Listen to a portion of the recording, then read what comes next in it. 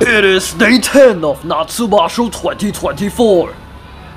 The sole leader of the Juryo division.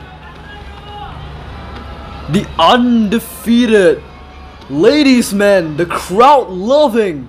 Endo takes on the powerful Rikishi Shimazuumi. This will be their first ever matchup Endo performing really well this tournament, 9 wins and no losses, he's undefeated and on his way back up to the top division, the Makuuchi division. His opponent here was also a Makuuchi division wrestler and he also has hopes to get back up soon.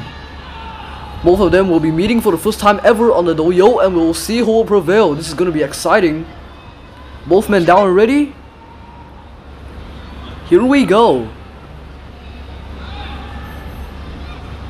Shimazuumi attacking Endo with a powerful Tachiai, but Endo counters with a beautiful Uwatenage over arm throw. He hurls him to the ground with impeccable timing, brilliant balance, and superb defense.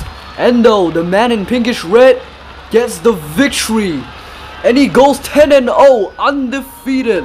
Double digit victories for him this Basho, and he remains undefeated at the very top of the leaderboard. Great victory by Endo. That was amazing. What an exciting bout. Good job, Endo.